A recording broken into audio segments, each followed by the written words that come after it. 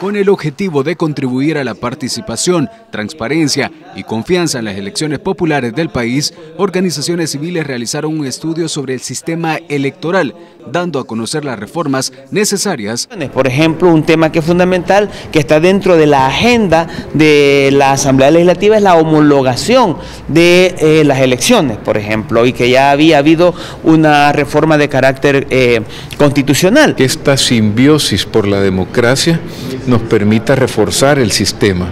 y nos permita facilitarle el ejercicio del derecho al sufragio al ciudadano, lo mismo que garantizar elecciones transparentes.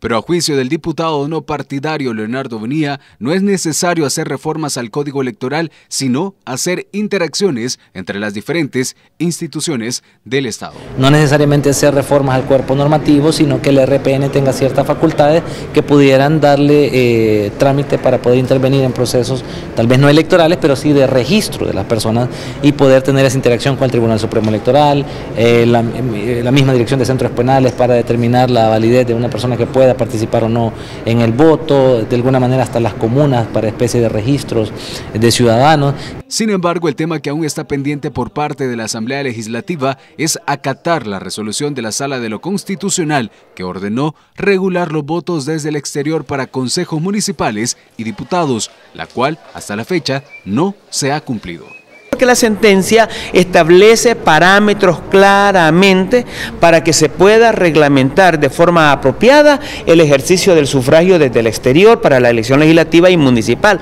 Pero que también se tenga que legislar el mecanismo para optar, es decir, para ser parte